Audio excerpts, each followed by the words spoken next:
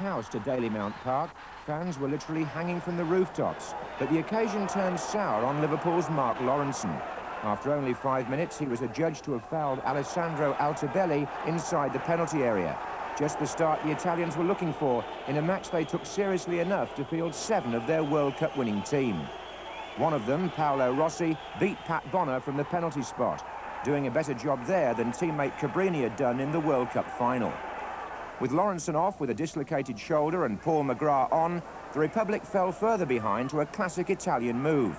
Bruno Conti supplied the pass after making the interception, and Altobelli, playing against his inter-clubmate Liam Brady, ran on to finish in a style befitting a man who has scored in the World Cup final itself. Two down at half-time, it was to the Republic's credit that they replied after 58 minutes with a fine strike by Gary Waddock. Defeat was no disgrace. They'd lost Tony Galvin with a hamstring injury as worrying for Spurs as Lawrenson showed... It's a city ball. Hurst obviously doesn't agree.